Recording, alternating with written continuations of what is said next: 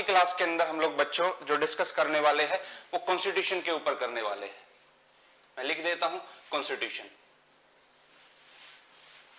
बच्चों, हिंदी में बोलते हैं इसको संविधान। नाम सुना होगा आप लोगों ने संविधान। जब भी संविधान का नाम आता है तो आपके दिमाग में एक ही क्वेश्चन जाता है कि संविधान होता क्या है। सिंपल सा एग्जांपल मैं आप लोगों को बता देता हूँ कि अपना जो देश है हाँ जी, बिल्कुल अपना देश। अपना ही देश है, किसी और का नहीं है। अपना जो देश है, इस देश को चलाने के लिए जो साधारण से नियम बने हुए हैं, जो कानून बने हुए हैं, जो रूल बने हुए हैं, उसी साधारण से नियम को हम लोग क्या बोलते हैं? संविधान बोलते हैं। और संविधान एक प्रकार का मौलिक कानून है, एक प्रकार का फंडामेंटल लॉ है। अब आप कहोगे, सर, ये फंडामेंटल लॉ क्या होता है? तो यहाँ पर एक वर्ड आ रहा है फंडामेंटल कौन सा वर्ड आ रहा है बच्चों? फंडामेंटल इसको हिंदी में हम लोग कहेंगे मौलिक। और बता देता हूँ कि फंडामेंटल का मतलब क्या होता है? फंडामेंटल का सिंपल सा मीनिंग हुआ मौलिक, और मौलिक का माने सवरोच। सवरोच मतलब ये होता है कि इनसे ऊपर कुछ नहीं है। जैसे मैं बोलता हूँ कि मेरी फंडामेंटल नीड्स है, मेरी बेसिक नीड्स है, मेरी मौलिक आवश्यकता है मतलब ये जो मौलिक आवश्यकता है, इनसे बाहर आप परिकल्पना नहीं कर सकते। जैसे रोटी, कपड़ा, मकान, अगर ये नहीं मिले, इनसे ऊपर कुछ नहीं है। सेम अगर मैं बात करता हूँ अपनी कंट्री के अंदर तो अपनी कंट्री में बहुत सारे रूल्स है। बहुत सारे रेगुलेशंस है, बहुत सारे एक्ट है। आप आईपीसी पढ़ते हो सीआरपीसी पढ़ते हो, बहुत सारे रूल्स आप पढ़ते हो। तो मैं सिंपल सा आपको बता देता हूँ कि इन सभी रूल से ऊपर एक फंडामेंटल रूल है, एक फंडामेंटल लॉ है, जिसको हम लोग बोलते हैं कॉन्स्टिट्यूशन संविधान। थोड़ा सा हँसी मज़ाक कर लेता हूँ बीच के अंदर। यहाँ पर जैसे आपने देखा होगा कि आप घर में भी रहते हो तो घर में भी कुछ ना कुछ रूल बने हुए हैं। क्या रूल बने हुए हैं? जैसे घर वाले बोलते कि, बेटा, इस टाइम पे उठ के ये काम करना है। भाई साहब लॉकडाउन तो ऐसा आया है कि सबसे बुरी हालत बच्चों की है। और खासकर आप जैसे बेरोजगार हो मैं भी बेरोजगार हूँ, चिंता मत करो। घर वाले बोलते कि जा मटर छीन ले, जा सब्ज़ी ले आ मार्केट से। और आप बसते हुए फिरते हो कि भाई साहब कहाँ जाए, कहाँ मरे। एक तो पहले इतनी टेंशन है। और दूसरा क्या है कि घर वालों की सुननी पड़ती है।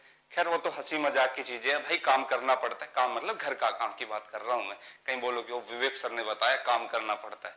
तो इसका मतलब ये नहीं है कि भाई आप वो सारी चीज़ें छोड़ दोगे। ठीक है? तो जैसे आपके घर के अंदर कुछ रूल्स बने हुए हैं और आपको उनको फॉलो करना पड़ता है, घर के अंदर रहते हुए कुछ रूल्स को फॉलो करना पड़ता है, ऐसी कंट्री के अंदर रहते हुए आपको कुछ रूल फॉलो करने पड़ेंगे।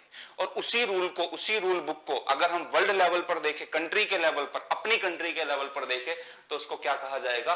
कॉन्स्टिट्यूशन कहा जाएगा, संविधान कहा जाएगा। तो अगर कोई आपसे पूछे कि संविधान है क्या बच्चों तो आपको सिंपल जवाब देना कि संविधान एक रूल बुक है, एक नियम की किताब है। खैर, आगे हम लोग बढ़ते हैं। तो आज की क्लास के अंदर हम लोगों ने मतलब अभी तो हमने बेसिक बात की कॉन्स्टिट्यूशन है क्या? संविधान है क्या? अब थोड़ा सा बच्चों में आप लोग को बता देता हूँ कि ये जो अपना कॉन्स्टिट्यूशन है, ये जो अपना संविधान है, ये जो रूल बुक है, इसके अंदर दिखाई देगा आपको कि टोटल 22 पार्ट्स है। संविधान के 22 भाग है। अब आप कहोगे, सर, हमने तो पढ़ा था कि संविधान के 25 भाग है। अगर आप पार्ट्स की काउंटिंग करते हो तो काउंटिंग के बेस पर आपको 25 पार्ट्स मिल जाएँगे। जब मैं आगे डिटेल में बताऊँगा तो सारी चीज़ें एक एक करके डिस्कस करूँगा। तो कॉन्स्टिट्यूशन के अंदर आपको कितने पार्ट मिलेंगे? 22 पार्ट्स मिलेंगे संविधान के 22 भाग मिलेंगे। और काउंटिंग के बेस के ऊपर कितने पार्ट्स मिलेंगे? 25 पार्ट्स बनेंगे। जब मैं आप लोग को कॉन्स्टिट्यूंट असेंबली पढ़ाऊँगा, संविधान सभा पढ़ाऊँगा, देखो मैं रेंडमली ऐसे नहीं है कि भाई यहाँ से स्टार्ट किया, फिर वो टॉपिक मैं यहाँ पर आज की क्लास के अंदर एक पर्टिकुलर टॉपिक के ऊपर बात करूँगा। और मैं गारंटी देता हूँ, वो टॉपिक पढ़ने के बाद आपको मज़ा आएगा। क्योंकि संविधान का पहला भाग पार्ट वन जिसमें इंडिया और भारत लिखा हुआ है, उसके पीछे की स्टोरी हम लोग समझेंगे। ठीक है? तो कॉन्स्टिट्यूशन के अंदर टोटल 22 पार्ट्स है और काउंटिंग के बेस पर 25 पार्ट्स है। तो आगे की क्लासेस के अंदर ये 22 पार्ट्स कैसे है 25 पार्ट्स क्या है आर्टिकल क्या है, इस, इन सब के ऊपर हम लोग डिटेल के अंदर बात करेंगे। खैर, आज की क्लास को हम लोग यहाँ से कंटिन्यू करते हैं। तो आपको बच्चों कॉन्स्टिट्यूशन समझ में आ गया? संविधान समझ में आ गया। आपको ये पता लग गया कि फंडामेंटल का मतलब क्या होता है, कि मतलब सुप्रीम है सर्वोच्च है। इससे ऊपर कुछ नहीं है। जैसे रोटी, कपड़ा, मकान, हमारी फंडामेंटल बेसिक नीड्स है। ऐसी कंट्री को चलाने के लिए कुछ फंडामेंटल लॉ बने हुए हैं। देश को चलाने के लिए मौलिक कानून बने हुए हैं। और उसी फंडामेंटल लॉ को हमने नाम क्या दिया है? कॉन्स्टिट्यूशन नाम दिया है। खैर, आगे बढ़ते हैं अब हम लोग। तो आज की क्लास के अंदर हम लोग कंटिन्यू करेंगे पार्ट वन के साथ। तो देखो सबसे पहले, मैंने आप लोग को बताया कि कॉन्स्टिट्यूशन के टोटल 22 पार्ट्स है और काउंटिंग के बेस पर 25 पार्ट्स है। तो आज की क्लास के अंदर हम लोग देख डील करने वाले हैं पार्ट वन के साथ। कॉन्स्टिट्यूशन का कौन सा पार्ट पार्ट वन आपको दिखाई भी दे रहा होगा कॉन्स्टिट्यूशन है, एक फंडामेंटल लॉ है। उसके अंदर टोटल कितने पार्ट्स है? 22 पार्ट्स है। और उसका जो पार्ट वन है, जो भाग एक है तो ध्यान रखना पार्ट के अंदर बच्चों क्या आता है? आर्टिकल आता है। तो पार्ट वन के अंदर टोटल चार आर्टिकल है। कौन कौन से article article one article two article three article four मैं कोशिश करूँगा कि ये जो पार्ट वन है, आज की क्लास में जो मैंने शुरू किया है, वो तीन चार क्लास जितनी भी क्लासेस लगेगी, चाहे पाँच क्लास लगे, उसको डिटेल में मैं आप लोग को पढ़ाऊँगा। एक एक चीज़ आपको समझ में आएगी कि अगर यहाँ पर इंडिया दैट इज़ भारत लिखा हुआ है तो इसकी क्या मीनिंग है? और इंडिया और भारत क्यों लिखा? Shall be union of state पूरी चीज़ें डिटेल में यहाँ पर होगी। बस आप एक काम करना छोटा सा। जब भी मेरी क्लास होती है तो आप कॉपी पेन लेकर बैठना और वहाँ पर उसको नोट आउट करते हुए चलना। यहाँ पर भी आपको सारी चीज़ें लिखी हुई मिल जाएगी। और दूसरा क्या है कि जो चीज़ें बोलता हूँ मैं, जो भी चीज़ें बताता हूँ, उसको आप नोट आउट करते हुए चलो। जो भी डेली बेसिस पर चीज़ें आती, चाहे मैं कराऊं, चाहे प्रशांत सर हो, चाहे कुलदीप सर हो, चाहे रवि डागर सर हो, जो भी वो लोग पढ़ाएँगे तो आप उसको नोट आउट करते हुए, पढ़ते हुए चलोगे। खैर आगे कंटिन्यू करते हैं हम लोग। तो मैंने आप लोग को बताया कॉन्स्टिट्यूशन है और कॉन्स्टिट्यूशन में पार्ट वन है और पार्ट वन में टोटल चार आर्टिकल आते हैं। Article one two three and four तो हम लोग स्टार्ट करते हैं पार्ट वन से। देखो बच्चों पार्ट वन को नाम क्या दिया गया है? पार्ट वन का नाम है यूनियन एंड इट्स टेरिटरी संघ और उसका क्षेत्र। मतलब जो हमारा यूनियन है और जो राज्य क्षेत्र है, उसको नाम दिया गया है पार्ट वन और इसमें कितने आर्टिकल आ रहे हैं बच्चों? चार आर्टिकल आ रहे हैं। तो हम लोग आर्टिकल वन से शुरू करते हैं, संविधान के अनुच्छेद एक से शुरुआत करते हैं। तो पहले स्टेटमेंट पढ़ना। India that is Bharat shall be union of state यहाँ पर दो चीज़ें काम की है आपके लिए। कौन सी काम की है? एक India that is Bharat. India जो कि भारत है। और दूसरा कौन सा? यूनियन ऑफ़ स्टेट हिंदी में इसको कहेंगे इंडिया जो कि भारत है, राज्यों का संघ होगा। मुझे, मैं उम्मीद करता हूँ कि आपको चीज़ें समझ में आ रही होगी, आप एंजॉय कर रहे होंगे क्लास को। और जैसे जैसे टाइम पर बढ़ता जाएगा, मैं गारंटी लेता हूँ कि आपके दिमाग के जो तार है, वो धीरे धीरे खुलने लग जाएँगे। आपको समझ में आएगा अच्छा बेटा, ये तो यहाँ पे चीज़ें चल रही है। हम तो अब तक यूँ ही जी रहे थे। तो धीरे धीरे चीज़ें समझ में आएगी आपको। धीरे धीरे जैसे आप बढ़ोगे, बोलते हैं ना कि भाई धीरे वाली जो चीज़ें होती है, वो लास्ट तक इम्पैक्ट डालती है। गलत मत सोचना आप लोग। सही बात कर रहा हूँ मैं यहाँ पर। तो आर्टिकल वन के ऊपर बात करते हैं। आर्टिकल वन में देखो बच्चों क्या लिखा हुआ है। India that is Bharat shall be a union of state India जो कि भारत है, राज्यों का संघ होगा। अभी तो खैर इसके ऊपर ही बात करते हैं, फिर पूरा डिटेल में पढ़ेंगे। तो देखो, यहाँ पर सबसे पहले अगर मैं बात करूँ, ये जो आर्टिकल है, ये आपको दो चीज़ बताएगा। कौन सा आर्टिकल है? आर्टिकल वन है। क्वेश्चन पूछता हूँ, किस पार्ट के अंदर है? पार्ट वन में है। और क्या पढ़ रहे हैं हम लोग? कॉन्स्टिट्यूशन कहोगे, इतना तो हमें पता है, क्यों फालतू में इतना बता रहा है हमें? खैर, मेरे को पता है कि आप लोग को ही पता है, ठीक है? खैर, आगे बढ़ते हैं। इंडिया जो कि भारत है, राज्यों का संघ होगा। अब सबसे पहला क्वेश्चन कि इंडिया और भारत, ये जो दो वर्ड है, ये सबसे ज़्यादा कंफ्यूज क्रिएट करते हैं। और आज के टाइम पे अगर कोई पूछे आपसे कि अपनी कंट्री का नाम क्या है नेम ऑफ़ आवर कंट्री या किस आर्टिकल में अपनी कंट्री का नाम लिखा हुआ है? तो पहले तो एक सिंपल सी चीज़ मैं आप लोगों को बता देता हूँ कि अपने कॉन्स्टिट्यूशन में लगभग 677 टाइम 677 बार इंडिया भारत वर्ड लिखा हुआ है। मतलब 600 से ज़्यादा बार इंडिया और भारत वर्ड लिखा हुआ है। तो अगर आपसे क्वेश्चन पूछ ले कि कॉन्स्टिट्यूशन का कौन सा आर्टिकल नेम ऑफ़ कंट्री बताएगा, देश का नाम कौन सा आर्टिकल बताएगा। बच्चों, आप लोग के लिए लिख भी दिया मैंने यहाँ पर तो आप तुरंत जवाब देना कि जो संविधान का अनुच्छेद एक है, वो आपको बताएगा क्या? देश का नाम। और संविधान के अनुच्छेद एक के अनुसार देश का नाम क्या है कंट्री का नाम क्या है? दो दो नाम लिखे हुए हैं इंडिया और दूसरा क्या नाम लिखा हुआ है? भारत। तो अभी रिसेंटली क्या था? कुछ टाइम पहले नमा नाम के एक व्यक्ति थे, दिल्ली के रेजिडेंट सिटीजन थे, उन्होंने सॉरी दिल्ली के रेजिडेंट थे, उन्होंने एक पेटिशन लगाई थी सुप्रीम कोर्ट में, जिसमें कहा कि भाई ये जो इंडिया नाम है ना, इसको हटा दो। अपनी कंट्री का नाम क्या रहना चाहिए? भारत रहना चाहिए। तो उनकी जो पेटिशन थी, उसके ऊपर भी मैं बात करूँगा, क्या पेटिशन थी और सुप्रीम कोर्ट की क्या जजमेंट आई उसके ऊपर। तो सबसे पहले हम लोग समझते हैं आर्टिकल वन को। उसके पीछे थोड़ा सा आपको बैकग्राउंड जानना पड़ेगा। कि इंडिया और भारत, ये दो दो वर्ड क्यों आ रहे हैं कॉन्स्टिट्यूशन के अंदर? और ये इंडिया और भारत कहाँ से निकल कर आया? तो पहले देखना आप लोग आर्टिकल वन संविधान का अनुच्छेद एक, क्या लिखा हुआ है? India that is Bharat shall है यूनियन ऑफ़ स्टेट तो पहले इस इंडिया और भारत को समझ लेते हैं। तो बच्चों, सबसे पहले जानना ज़रूरी है कि ये जो इंडिया वर्ड है, ये जो इंडिया है, ये कहाँ से आया है? और ये जो भारत है, ये कहाँ से आया है? तो जैसे इंडिया और भारत नाम लिए जाते हैं तो सीधा सीधा बच्चों के दिमाग में क्वेश्चन उठता है कि इंडिया की हिंदी है, भारत, और भारत की इंग्लिश है इंडिया खैर बच्चों, ऐसा कुछ नहीं है। आज की क्लास में डाउट क्लियर करूँगा कि इंडिया क्या है और भारत क्या है, और कॉन्स्टिट्यूशन के अंदर ये दोनों नाम क्यों रखने पड़े? खैर विलियम शेक्सपियर ने कहा है कि नाम में क्या रखा है?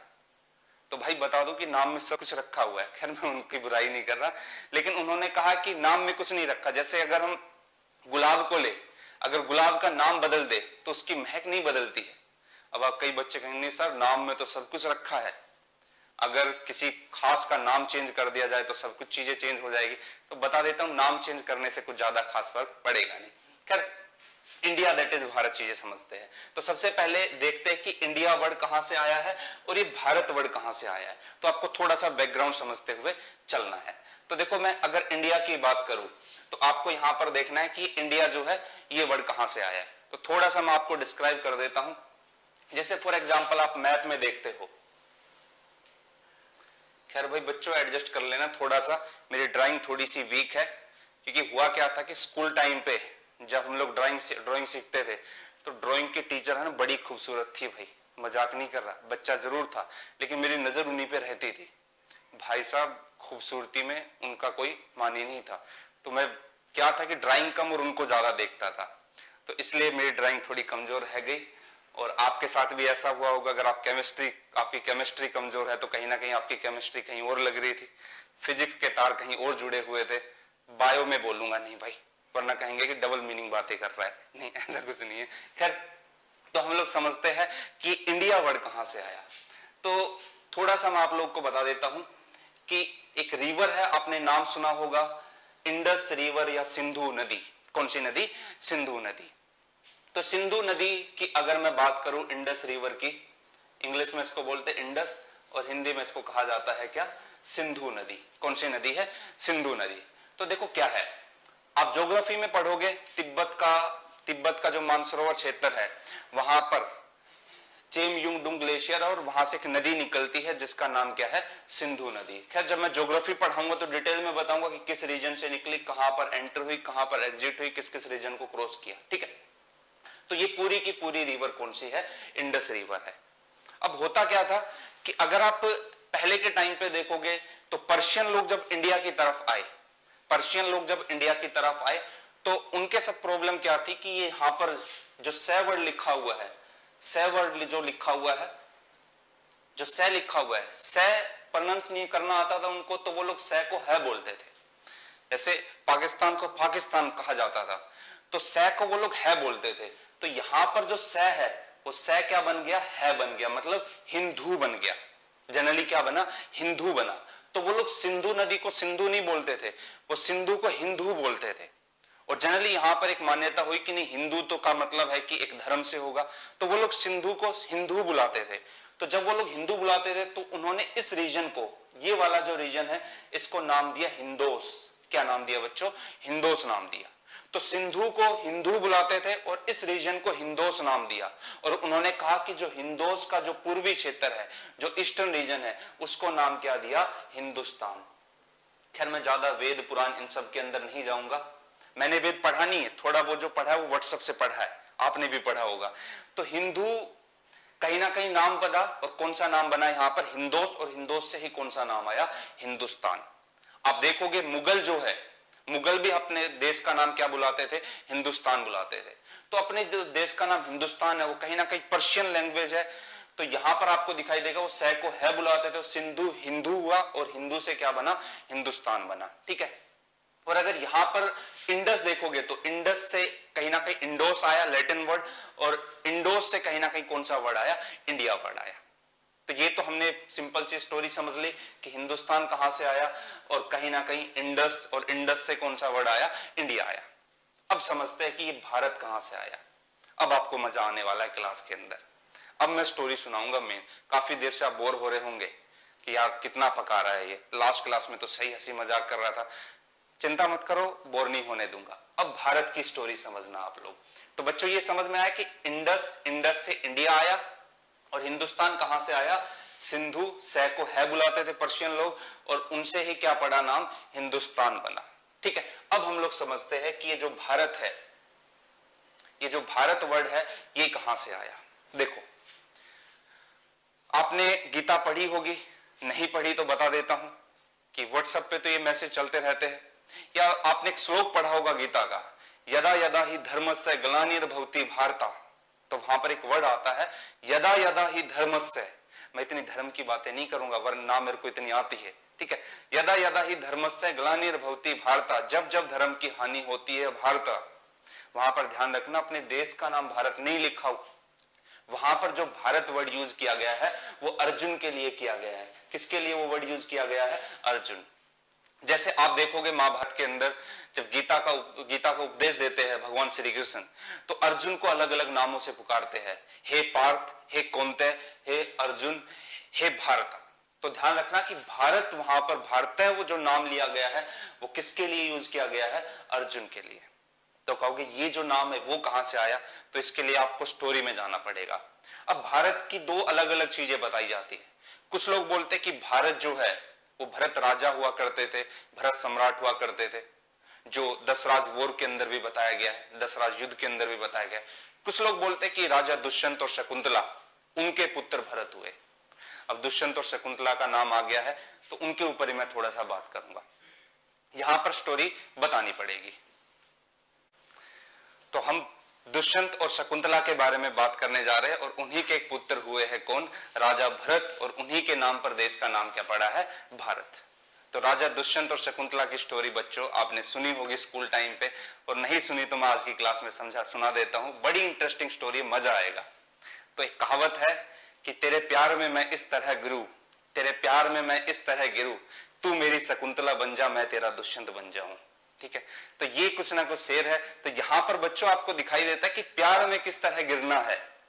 कि मतलब तू मेरी शकुंतला बन जा, मैं तेरा दुष्यंत बन जाऊँ। मतलब इतना तगड़ा प्रेम दिखाया है। ही रांझा वाला प्रेम नहीं, यहाँ पर दुष्यंत शकुंतला वाला प्रेम है। और मैं तो हमेशा क्लास के अंदर भी बच्चों को ऑफलाइन में बोलता हूँ कि बेटा, प्यार करना है। तो प्यार करो तो दुष्यंत और शकुंतला जैसा। कि एक बार बोल दिया पति ने तो एक बार के लिए वो सारी चीज़ें मान गई। और कुछ टाइम के बाद राजा दुष्यंत सारी चीज़ें भूल बैठे। तो यहाँ पर ही रांझा वाली चीज़ें नहीं करनी। पॉजिटिव चीज़ें लो प्यार से। नेगेटिव मत लेके जाओ कहीं भी। कई लोग रोते रहते कि लड़की ने छोड़ दिया। अरे छोड़ दिया छोड़ दिया, एक गई, दूसरी आएगी। कहोगे, सर, ऐसा कुछ नहीं लाइन नहीं लगी हुई। तो आजकल के बच्चे तो क्या होते आजकल के लड़के तो क्या होते जैसे मैं जहाँ पर पढ़ाता था, वहाँ पर भी देखता था। भाई साहब, होता क्या था कि एक रस्ते पर लड़का और लड़की दोनों जा रहे हैं।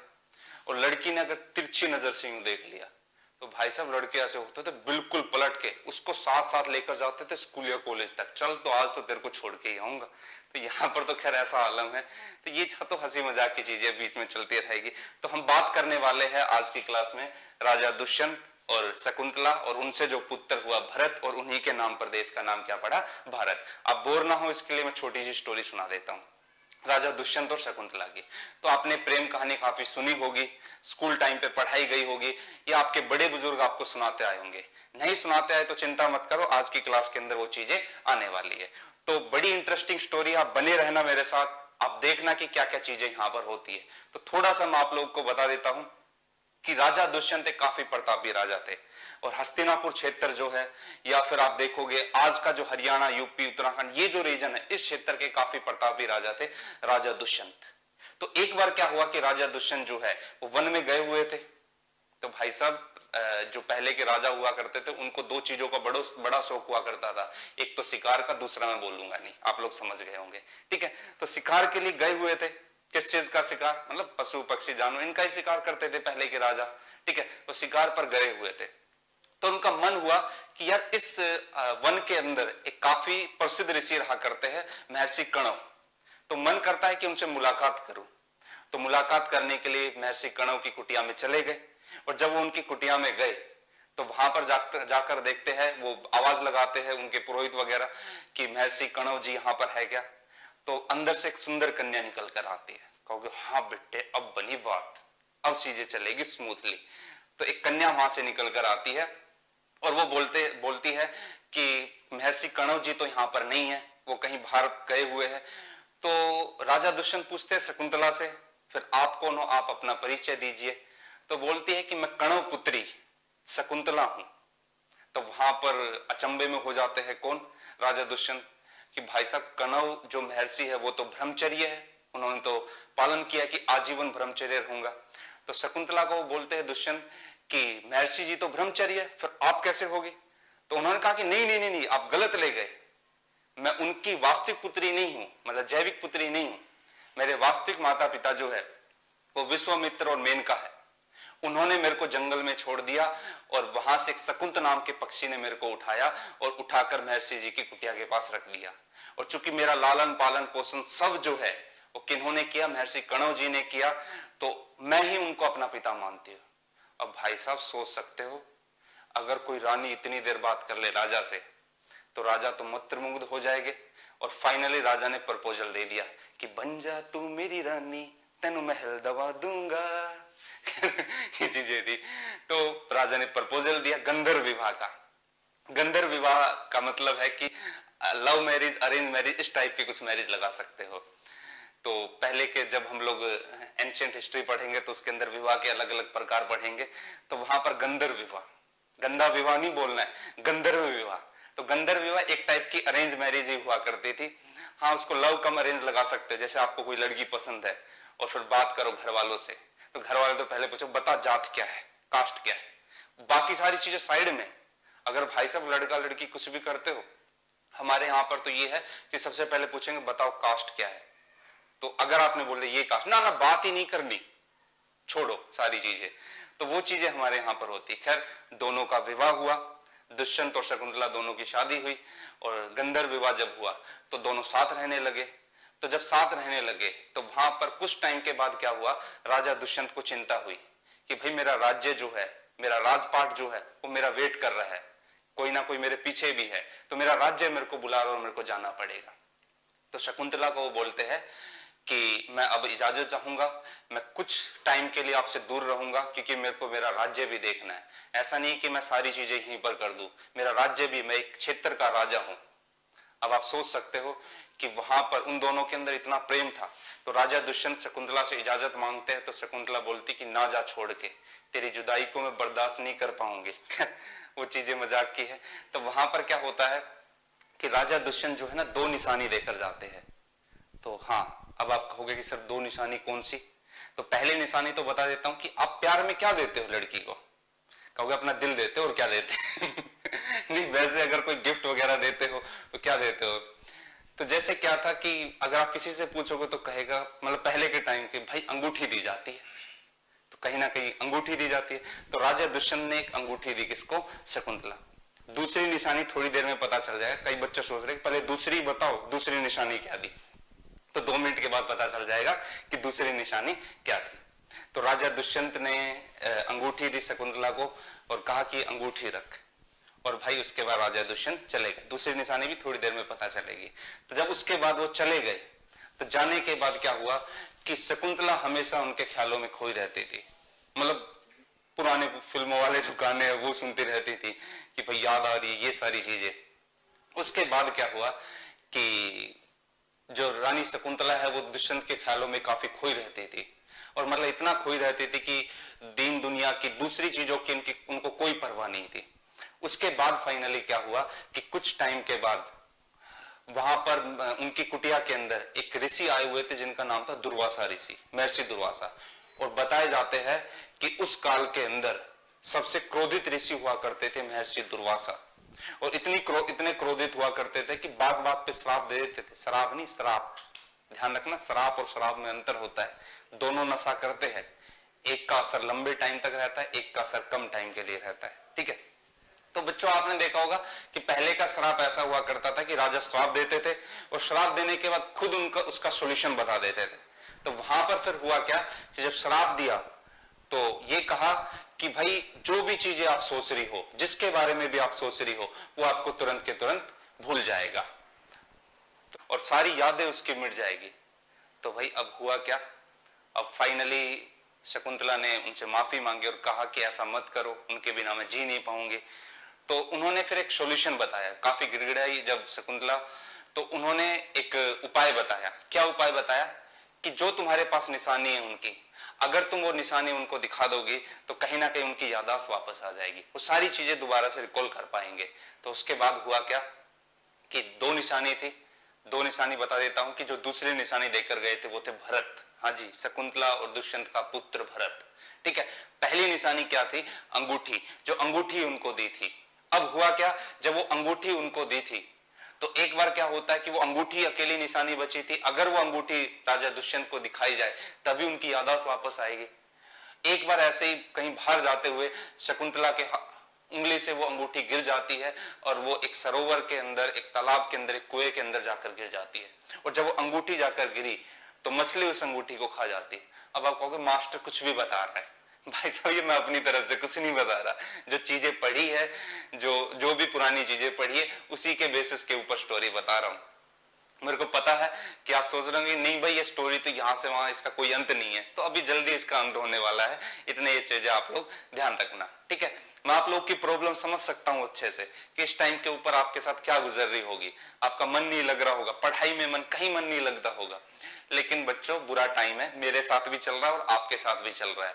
खैर, बाकी की तो मैं बात करूँगा नहीं। समझ गए होंगे क्यों नहीं चल रहा। तो वो बुरा टाइम भी जल्दी निकल जाएगा। ठीक है? तो उनके हाथ के अंदर जो अंगूठी थी, जो वो गिर जाती है और एक मछुआर एक मछली उसको निकल जाती है।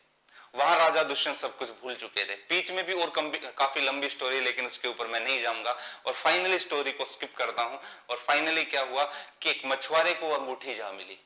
और मछुआरे ने वो अंगूठी राजा दुष्यंत को दिखाई और राजा दुष्यंत को अपनी सारी पुरानी यादें सब वाप, वापस उसको रिकॉल हो गई उनको और फाइनली दुष्यंत और शकुंतला एक हो गए और उनका जो पुत्र था उनका नाम क्या था? राजा भरत। और थोड़ा सा आगे और कंटिन्यू कर देता हूँ। यही जो राजा भरत थे इन्हीं की आगे चलकर संतान के रूप में आपको दिखाई देगा शांतनु हुए। शांतनु के बाद उनकी तीन संतान हुई चित्रागंधा विचित्र वीर्य और भीष्म पितामा हाँ जी, भीष्म पितामा और फिर आगे चलकर कौरव और पांडव वहीं से आपको कॉन्सेप्ट दिखाई देगा। तो कहीं ना कहीं महाभारत, भरत ये सारी चीज़ें एक तरफ़ दिखाई देती है। तो वो जो राजा भरत है, वो जो राजा भरत है, उन्हीं भरत के नाम पर देश का नाम क्या पड़ा? भारत पड़ा। तो ध्यान रखना कि वहाँ पर राम, ये महाभारत के अंदर जो भारत वर्ड यूज़ किया गया है, यदा यदा ही धर्म से गलानी भवती भारत तो वो अर्जुन के लिए यूज़ किया गया है। लेकिन वास्तविक रूप में यहाँ पर जो नाम लिखा, वो राजा भरत और उन्हीं भरत के नाम पर देश का नाम क्या आया? भारत। खैर, कुछ लोग तो बोलते हैं कि ये जो भारत है, वो राजा भरत, जो कि दुष्यंत और शकुंतला के पुत्र थे, उनके नाम पर पड़ा। कुछ लोग क्या बोलते हैं कि नहीं? यहाँ पर आप देखोगे कि जो दसराज युद्ध था, वहाँ पर एक भरत राजा थे।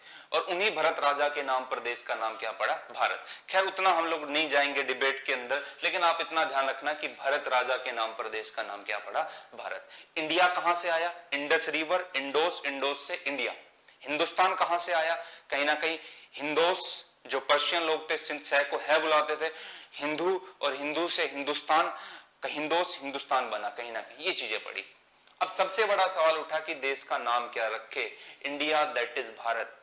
ये जो देश का नाम है, जब हमारा संविधान बन रहा था, जब अपना कॉन्स्टिट्यूशन तैयार हो रहा था तो उनके सामने सबसे बड़ा चैलेंज आया कि अपनी कंट्री का नाम क्या रखा जाए। अपनी कंट्री का नाम इंडिया रखे, अपनी कंट्री का नाम भारत रखे, अपने देश का नाम हिंदुस्तान रखे या आर्यवर्त रखे। तो बच्चों थोड़ा सा मैं आप लोग को बता देता हूँ कि अपने देश का नाम हिंदुस्तान, कहीं ना कहीं हिंदू वर्ड आ रहा था तो इसलिए संविधान सभा ने कहा कि यह नाम रखना ठीक नहीं होगा। दूसरा अगर मैं बात करूँ आर्यवर्त, कहीं ना कहीं वो एक स्पेशल रेस को स्पेशल नस्ल को शो कर रहा था तो कहीं ना कहीं आर्यवर्त नहीं रखना पड़ा। प्रॉब्लम क्या थी कि जब ईस्ट इंडिया कंपनी हमारे यहाँ पर आती है तो वर्ल्ड लेवल पर अपनी कंट्री का नाम ज़्यादातर यूज़ करती है क्या? इंडिया यूज़ करती है। तो यहाँ के लोग को भी यही लगता था कहीं ना कहीं कि ईस्ट इंडिया कंपनी ने इंडिया नाम यूज़ किया और कहीं ना कहीं इंडिया नाम उन्हीं का दिया हुआ है। लेकिन ऐसा कुछ है नहीं, मैंने आप लोग को बता दिया कि इंडिया और भारत कहाँ से आया है। तो इंडिया और भारत की स्टोरी ये बताई गई है। अब वर्ल्ड लेवल पर अपनी कंट्री का नाम क्या चल रहा है? इंडिया और यहाँ के लोगों, लोग जनरली किसको प्रमोट कर रहे हैं? भारत को। जैसे फॉर एग्ज़ाम्पल जब आप गांधी के आंदोलन देखोगे तो वहाँ पर भी भारत माता की जय, भारत वर्ड यूज़ किया जाएगा। भारत छोड़ो आंदोलन। कहीं ना कहीं भारत वर्ड को ज़्यादा प्रमोट किया जाएगा। और चाहे वो मुस्लिम मेंबर हो, चाहे वो हिंदू मेंबर हो, कहीं ना कहीं किसको प्रमोट कर रहे थे? भारत को। तो क्वेश्चन उठा कि अपने देश का नाम इंडिया रखे या अपनी कंट्री का नाम भारत रखे। हमारी कॉन्स्टिट्यूंट असेंबली के कई मेंबर ऐसे थे जो चाहते थे कि अपनी कंट्री का नाम भारत हो।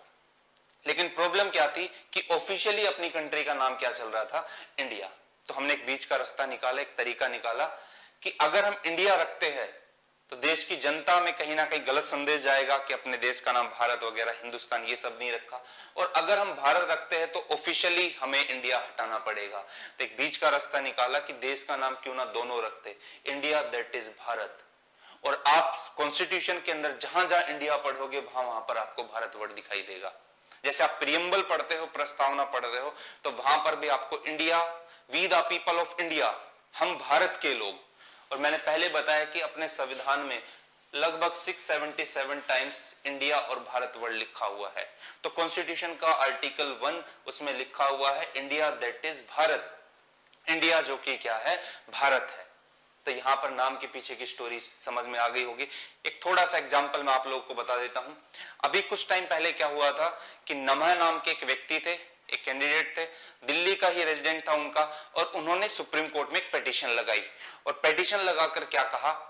कि अपनी कंट्री का नाम इंडिया नहीं होना चाहिए।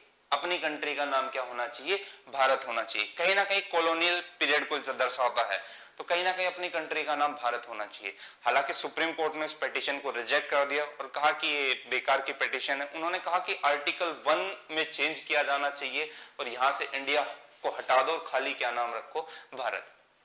तो सुप्रीम कोर्ट ने फिर उस पिटिशन को रद्द कर दिया था रिजेक्ट कर दिया था तो वो स्टेटमेंट यहाँ पर आपको दिखाई देगी। खैर, मैंने बताया कि इंडिया जो कि भारत है इंडिया दैट इज़ भारत, ये जो वर्ड है, ये पहला तो बताएगा आपको नेम ऑफ़ कंट्री तो बच्चों, सबसे इंपॉर्टेंट पॉइंट यही है, आपको याद रखना कि अपने देश का नाम क्या है और किस आर्टिकल में अपने देश का नाम लिखा हुआ है, वो आर्टिकल है आर्टिकल वन मैंने ये भी बताया कि इंडिया वर्ड कहाँ से आया, भारत वर्ड कहाँ से आया। तो इंडिया दैट इज़ भारत, ये जो दो वर्ड है, ये कहीं ना कहीं रिफ्लेक्ट करेंगे क्या? नेम ऑफ़ कंट्री देश का नाम दर्शाएँगे। आपसे क्वेश्चन पूछेगा एग्ज़ाम के अंदर which of the following article reflect name of country कौन सा अनुच्छेद देश का नाम दर्शाता है? तो आप जवाब दोगे कौन सा अनुच्छेद? अनुच्छेद एक आर्टिकल वन वहाँ पर आप कंफ्यूज भी हो सकते हो क्योंकि वहाँ पर आपको प्रियम्बल भी देगा, प्रस्तावना भी देगा, वहाँ पर आपको आर्टिकल टू भी देगा। तो आपको ध्यान रखना है किस आर्टिकल में अपनी कंट्री का नाम लिखा हुआ है? आर्टिकल वन के अंदर India that is Bharat India जो कि भारत है। ये ध्यान रखना है। खैर, आगे बढ़ते हैं। दूसरा लिखा हुआ राज्यों का संघ होगा। अब इसका मतलब क्या है? देखो, बच्चों थोड़ा सा बता देता हूँ कि अपना कॉन्स्टिट्यूशन जो है, अपना संविधान जो है, उसकी लैंग्वेज बड़ी कॉम्प्लेक्स लिखी हुई, बड़ी जटिल भाषा लिखी हुई है। मतलब ऐसी ऐसी चीज़ें दिखाई देंगी वहाँ पर आपको हिंदी और इंग्लिश के अंदर, कि अगर आपको हिंदी के वर्ड नहीं समझ में आ रहे तो आप इंग्लिश की तरफ़ जाओगे। आपको इंग्लिश समझ में नहीं आ रही तो आप हिंदी की तरफ़ जाओगे। तो आपको समझ में नहीं आएगा कि यार एक्चुअल मीनिंग क्या है। और यही रीजन है कि हमारा संविधान हमसे दूर होता गया क्योंकि उसकी लैंग्वेज बड़ी कॉम्प्लेक्स है। जैसे आप ऐसे ऐसे वर्ड पढ़ोगे, भूतलक्षी दंडिक विधियों से संरक्षण। आपको समझ में नहीं आएगा कि भाई, संविधान के अंदर लिखा हुआ है किसी मंत्र का नाम है? ठीक है? तो यहाँ पर ध्यान रखना कि ऐसी ऐसी चीज़ें संविधान के अंदर दिखाई देगी। बड़ी कॉम्प्लेक्स है। और यही कारण है कि आज के बच्चे जो है, आज ज़्यादातर जो है, वो संविधान के बारे में दो ही चीज़ें जानते हैं, दो या तीन चीज़ें। एक तो 26 जनवरी 26 जनवरी 1950 को लागू हुआ 1950 को कमेंस हुआ। एक, आपको पता है कि संविधान बनाने में सबसे बड़ा कंट्रीब्यूशन भीमराव अंबेडकर जी का था। तो पूछते हैं कि भीमराव अंबेडकर ने संविधान बनाया, ये बोलते हैं। एक, ये पता है कि हाँ हमारे पास एक प्रस्तावना है, प्रियम्बल है, जिसमें we the people of India ये लिखा हुआ बाकी कुछ नहीं पता। और उसका सबसे बड़ा कारण ये है कि इसकी लैंग्वेज बड़ी कॉम्प्लेक्स है, और कॉम्प्लेक्स लैंग्वेज होने के कारण ये संविधान अपना अपना हमसे बिछड़ता जा रहा है, हमसे दूर होता जा रहा है। ठीक है? जैसे पहले संस्कृत थी ना, संस्कृत टेंथ क्लास तक पढ़ाई जाती थी, फिर एट्थ क्लास तक, फिर सेवेंथ फिर सिक्स क्लास तक। और आज संस्कृत के अंदर सिर्फ़ हमें दो तीन चीज़ें ही पता है, और क्या? पढ़ती पठत पठन थी उससे बाहर कुछ नहीं पता। पूछो भाई, संस्कृत भाई, इतना ही पता मैंने खुद एट क्लास तक संस्कृत पढ़ी है। तो मेरे को इतना ही पता है, पढ़ती पठन थी और भाई, दूसरा और बता देता हूँ सेम कंडीशन कहीं ना कहीं इंग्लिश में ही है। कि हमें दो चार स्टार्टिंग की स्टेटमेंट पता है। तो जैसे क्या था कि मैं ऐसे एक बार मतलब ये आज से लगभग तीन चार साल पहले की बात है। तो आपने सुना होगा कि एक इंस्टीट्यूट काफ़ी चलता था और उसके नीचे लिखा रहता था, मात्र नब्बे घंटे में अंग्रेज़ी बोलना सीखिए खैर मैं नाम नहीं लूँगा, वरना उनको लोग का प्रमोशन हो जाएगा। ठीक है? मात्र नब्बे घंटे में अंग्रेज़ी बोलना सीखिए। आजकल तो ऐसे ऐसे आ गए। मात्र नब्बे घंटे में अंग्रेज़ी बोलना सीखिए और लड़की को करिए इम्प्रेस खैर, आपने देखा होगा बसेस में भी आप ट्रेवल करते हो तो ज्योतिष भी एक से एक दिखाई देंगे। मात्र दो घंटे में मन चाह प्यार चाहे। भाई साहब, इस तरीके से इंप्रेस करते हैं। मतलब आप अगर एक बार आपकी नज़र पड़ गई ना उनके ऊपर तो आप सोचो, यार एडमिशन ले ही लेता हूँ। नब्बे घंटे की ही तो बात है। कुछ दिनों के अंदर नब्बे घंटे कंप्लीट हो जाएँगे।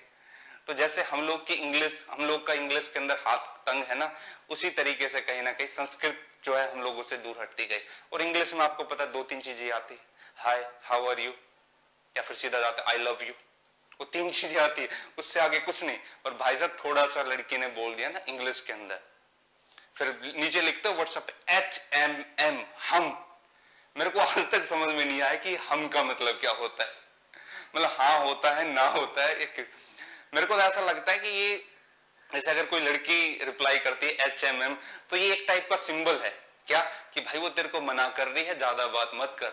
आप लंबे लंबे मैसेज भेजते हो कि भाई ये है, सारी स्टेटमेंट लिखते हो और नीचे लड़की का मैसेज आता है एच एम एम और भाई साहब, आपका दिल टूट जाता है। और दिल भी ऐसे टूटा कि पता नहीं भाई क्या हो गया। वो सिर्फ़ एच एम एम लिखने से। मेरे को आज तक समझ नहीं है कि एच एम एम का मतलब क्या है। अब मैं आगे कंटिन्यू करूँगा। तो वो चीज़ें यहाँ पर थी। खैर, थोड़ा सा मैं आप लोग को बता देता हूँ कि ये बेसिक चीज़ें हम लोगों ने समझी। तो जैसे आप लोग का इंग्लिश में हाथ तंग है, संस्कृत के अंदर हाथ तंग है तो कहीं ना कहीं वो चीज़ें, कहीं ना कहीं आप प्रॉब्लम फेस करोगे।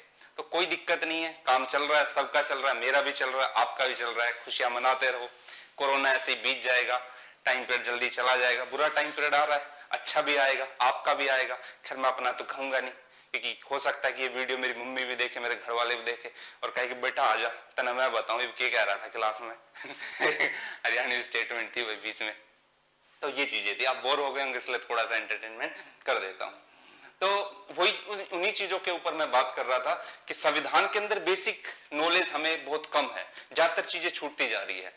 तो मैं आपको गारंटी देता हूँ कि संविधान के अंदर 10-15 क्लासेस जब आप ले लोगे ना तो आप बिल्कुल मास्टर हो जाओगे संविधान के। एक एक चीज़ आपको पता चल जाएगी। जैसे अभी आपने समझा कि आप तुरंत बता दोगे, कभी भी कोई भी आपसे पूछे कि देश का नाम, आप तुरंत जवाब दोगे आर्टिकल वन किसने बताया? विवेक सर ने। क्या लिखा हुआ है? India that is Bharat. कितने नाम है? दो नाम, एक इंडिया और दूसरा भारत नाम। ठीक है? इंडिया की स्टोरी भी आपने समझी, भारत की स्टोरी भी आपने समझी। ठीक है? तो आर्टिकल वन में अनुच्छेद एक के अंदर पहली स्टेटमेंट आपको यहाँ तक समझ में आ गई। अब कई बच्चे सोच रहे होंगे, ये दो वर्ड को समझाने में इतना टाइम ले रहा है तो पूरे संविधान को पढ़ाने में कितना टाइम लेगा? घबराओ मत टाइमली चीज़ें होगी, अच्छे से कवर होगी। बार बार थोड़ी ना चीज़ें पढ़नी है कि आज पढ़ा, फिर दो दिन के बाद फिर सारी चीज़ें भूल गए। एक बार पढ़ो कंप्लीट डिटेल में पढ़ो और यूपीएससी लेवल तक पढ़ो। टेंशन ना लो उस चीज़ की, ठीक है? अगला लिखा हुआ यूनियन ऑफ़ स्टेट राज्यों का संघ होगा। अब इसका मतलब क्या है? तो देखो यहाँ पर मैंने लिखा दिस आर्टिकल डील्स विद ये आर्टिकल डील करता है, पहले तो देश का नाम, जो कि इंडिया, भारत आ गया। दूसरा है टाइप ऑफ़ पॉलिटी राज व्यवस्था का प्रकार। मतलब यहाँ पर जो भारत को या देश को, जो राज व्यवस्था को बताया गया है, वो यूनियन ऑफ़ स्टेट बताया है, राज्यों का संघ बताया है। इस राज्यों के संघ का मतलब क्या होता है? देखो यहाँ पर क्या है कि देश का वर्णन जो है वो संघ के रूप में है। हमारा जो देश है, उसको संघ बताया गया। अब ये संघ क्या होता है, उसके ऊपर बात करेंगे। लेकिन संविधान का जो स्ट्रक्चर है, वो संघीय है। तो कंप्लीटली बात करेंगे आगे आगे जैसे क्लासेस बढ़ेगी, उसके ऊपर बात होगी कि देश का जो वर्णन है, वो संघ के रूप में है। कहीं ना कहीं India that is Bharat. India जो कि भारत है, उसको राज्यों का संघ बताया गया। इस राज्यों के संघ का मतलब देखो क्या है। नेक्स्ट स्लाइड में हम लोग चलते हैं। आप इसका स्क्रीनशॉट ले लीजिए। एज इट इज़ आपको पढ़ना है, ध्यान रखना है। नेक्स्ट स्लाइड में चलते हैं। अब देखो मैंने कहा कि राज्यों का संघ, इस राज्यों के संघ का मतलब क्या है?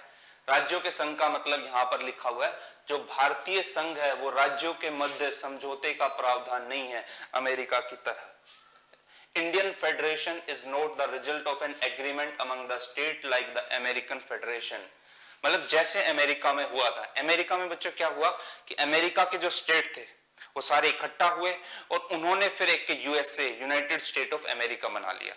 यहाँ पर भारत, यहाँ पर क्या है अमेरिका के अंदर कि अमेरिका के जितने भी स्टेट है, मान लो 50 स्टेट है वहाँ पर कॉन्स्टिट्यूशन के अकॉर्डिंग और वो अपने आप को यूनियन से अलग कर सकते हैं। लेकिन भारत को संघ के रूप में, और संघ का मतलब है जिसको तोड़ा ना जा सके। तो देखो, एक बार देखना यहाँ पर कि ये अपना संघ है, और इस संघ के अंदर राज्य आते हैं। अब इस राज्य का मतलब क्या होता है, उसके ऊपर बात करेंगे। और भारत के जितने भी राज्य है, वो अपने आप को संघ से अलग नहीं कर सकते। कहने का मतलब है कि अमेरिका की तरह नहीं है। अमेरिका की तरह क्यों नहीं है? क्योंकि अमेरिका के जो स्टेट है, अमेरिका के जो राज्य है, वो अपने आप को यूनियन से अलग कर सकते हैं। लेकिन इंडिया के जो स्टेट है, वो अपने आप को यूनियन से अलग नहीं कर सकते। तो यहाँ पर मैंने लिखा Indian federation is not the result of an agreement among the state like the American federation तो अमेरिकन फेडरेशन की तरह अमेरिकन संघीय की तरह, भारतीय संघ राज्यों के मध्य समझौते का प्रावधान नहीं है।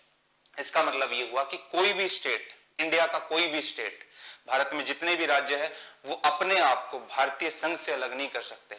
आप एक बात देखना यहाँ पर कि एक स्टेट से दूसरा स्टेट बन सकता है, लेकिन वो भारतीय संघ में आएगा, इंडियन यूनियन में आएगा, वो अपने आप को भारत से अलग नहीं कर सकता। जैसे एक एग्जांपल देता हूँ, मान लो कल की डेट को मन हुआ किसका? मान लो कि मेरे स्टेट का ही मन हुआ, हरियाणा का।